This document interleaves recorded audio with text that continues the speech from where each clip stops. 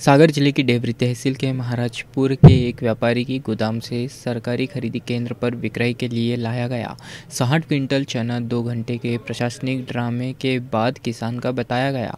मामले की जाँच के दौरान अधिकारी पंचनामा कार्रवाई के बाद लगातार फ़ोन पर व्यस्त रहे और बाद में मामले की नई पटकथा मीडिया के सामने पेश कर दी। सरकारी चना खरीदी में तेवड़ा संबंधी शर्त को लेकर मायूस किसान प्रदेश सरकार के आदेश से सरकारी प्रोत्साहन मिलने से आशान्वित है। परंतु खरीदी केंद्र संचालकों एवं व्यापारियों की जुगनबंदी को मिल रहे प्रशासनिक समर्थन के बाद अब किसानों के हित की बात बेमानी साबित हो रही है। कोरोना संक्रमण एवं लॉकडाउन में आर्थिक गतिविधियाँ बंद होने से आर्थिक अभाव का सामना कर रहे कृषकों को उनकी श्रम अर्जित उपज का सही मूल्य मूल्य दिलाने के लिए प्रदेश सरकार द्वारा आरंभ की गई समर्थन मूल्य खरीदी भारी भ्रष्टाचार का शिकार हो रही है।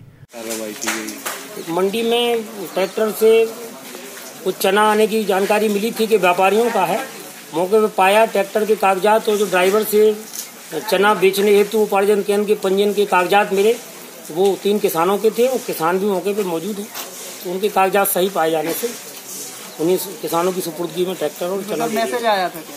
मैसेज नहीं किसी ने खबर दे दी थी तो व्यापारी का किसी का चना बिकने आ रहा है। नहीं सर उनका मैसेज कब आया था? उसका एसएमएस चेक हाँ एसएमएस चेक किया। उनके एसएमएस भी है उनके पास केंद्र क्रमांक एक मड़पेपरिया मंडी देवरी। उनके पास एसएमएस भी है आज के लिए और उनके पास खरीदी केंद्र के पर्ची भी।